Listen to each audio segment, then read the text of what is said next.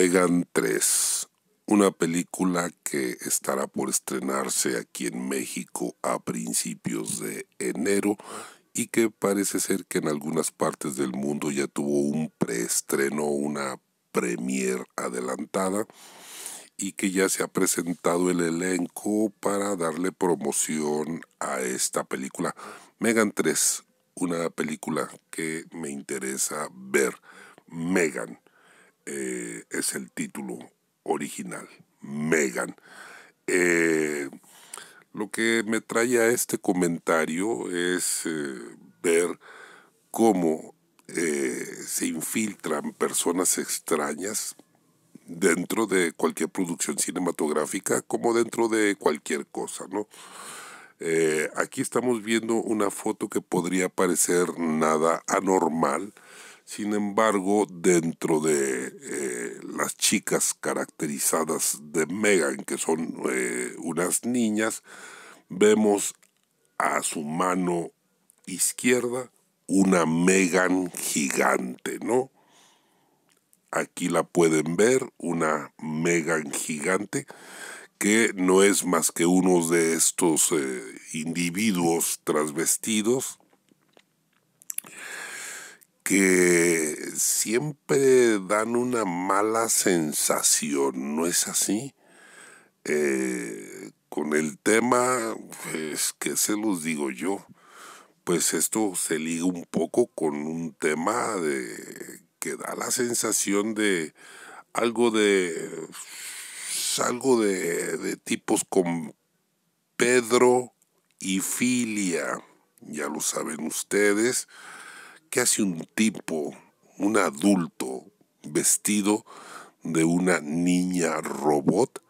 Sea lo que sea, no sé quién sea este, si sea el director, si sea algún productor o sea simplemente un abanderado multicolor colado para las fotografías. No lo sé, ni me importa, pero su estampa sí que da más miedo que la niña Megan de la película, la niña robot, porque este obviamente no es una niña robot, tiene toda la finta de un eh, Pedrito Filo, o sea, de un Pedro Filo.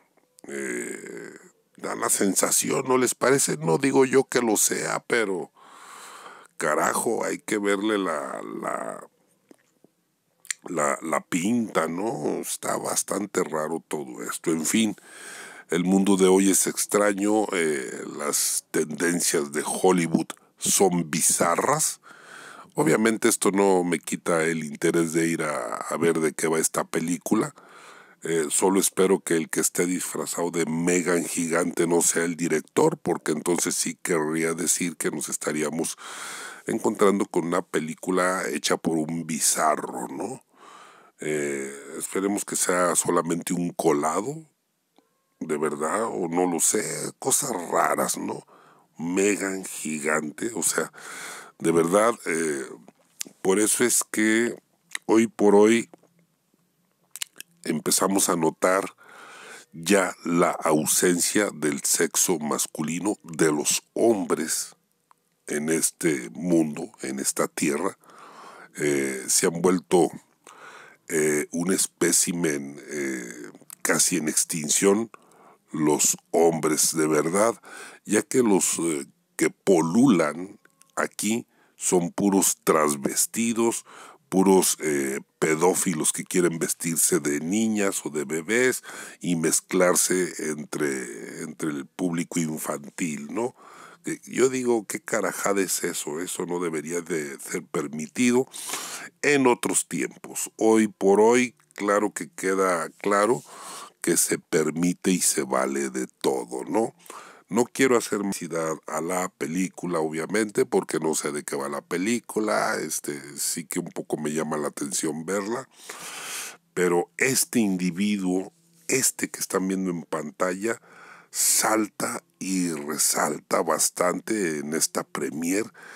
Eh, que bueno, si ustedes lo ven en el video oficial, se ve bastante extraño, ¿no?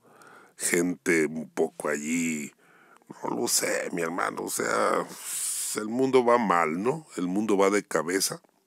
Como lo digo yo, ¿qué hace este? Parece un pedófilo revuelto ahí entre, entre infantes, ¿no? Eh, y aquí lo tenemos en esta fotografía. En fin, eh, son las, eh, si no es un pedófilo, pues bien que lo aparenta ser, pues por sus conductas, ¿no? ¿Y para qué correr esos riesgos? Ahora si lo es, puta madre, ¿de qué estamos hablando?